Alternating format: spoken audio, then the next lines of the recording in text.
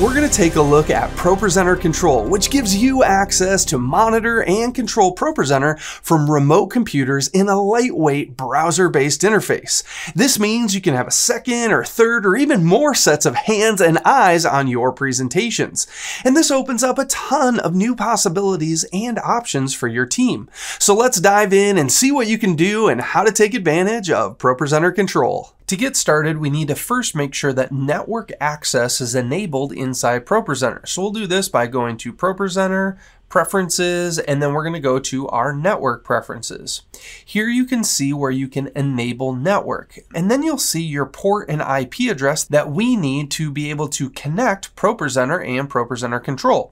So I'm going to copy my port, and then I need to remember this IP address. Now this is going to be different on your computer as well as the port will be different, but on my computer it's 192.168.11.103.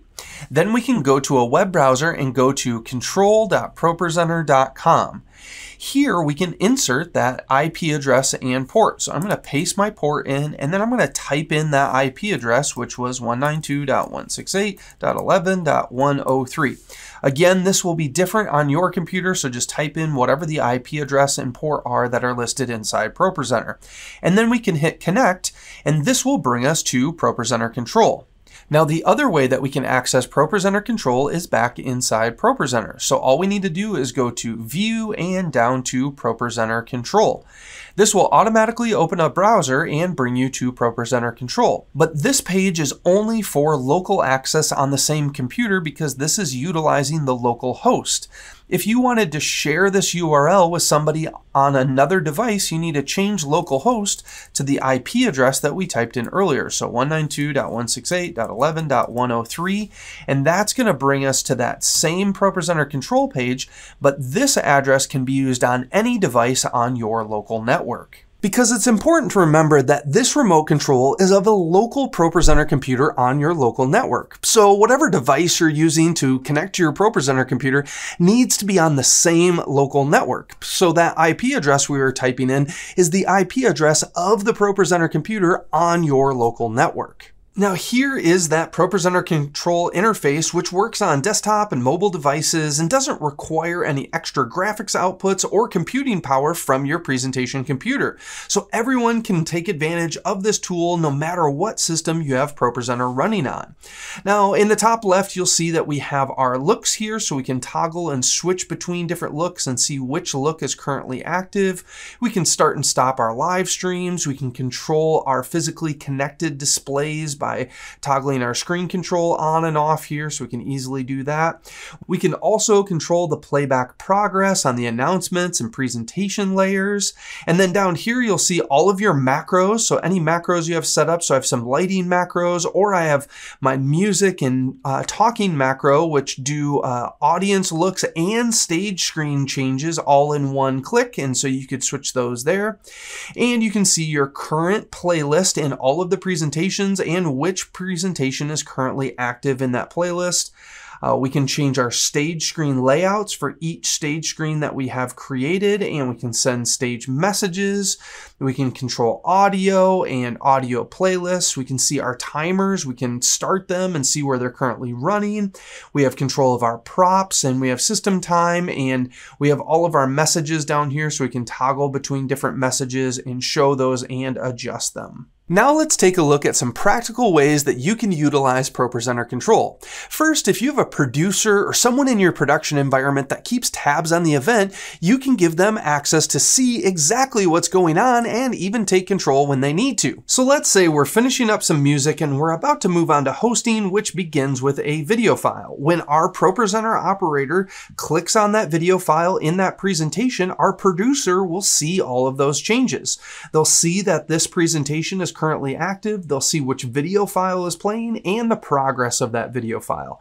The producer can even pause that video file and if it's a rehearsal, they could skip maybe to the last 30 seconds of the video to practice maybe the transition from that video into the live host who's about to come on stage. So they can take over control as they're practicing during rehearsal.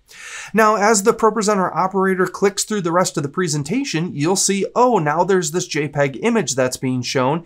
And that slide actually had a macro that started a timer. So now we can know exactly how long the host is on stage. And if we needed to send a message to the host on stage, they could use the stage message feature to send a message to the person on stage. Now this requires that your stage layout has an object that is linked to the stage message. So let's look at how to set that up real quick. So back inside ProPresenter, I'm going to go to More in the main toolbar and I'm going to go to the Stage Editor. Then we can select our screen preview, which was the layout that we're currently using, and we're going to add that object in. So we're going to click on add and we're going to go down and add a stage message object. Now you'll see this has added a text box that is linked to the stage message text, whatever we're going to send from ProPresenter Control. Now, a couple things I like to do to make this a little bit more obvious for anyone who would see this on a stage screen is go to our shape settings and add a fill so it stands out from the background, make that like a dark red, and then we're going to set the visibility so it only shows if the stage message has text. So we're going to choose the slide object of stage message and say has text. So this will only show if we're sending a message to that object. If it doesn't have any text, it's not going to show that. And we can maybe go back to our text settings and make our text way bigger. So we'll set that to like 90 point and now that's ready to go for us. So now we can go back to show and we can see our stage display here and it looks exactly the way we want it to. Now, if we go back inside of ProPresenter Control, we can move this over and we can add a message in here. So we could say hello and hit show, and you'll see how that shows up right inside ProPresenter. And when I hit hide, it will disappear. This is also really handy for video switchers because now they can control different features and even show like lower thirds on their live stream without having to ask the ProPresenter operator.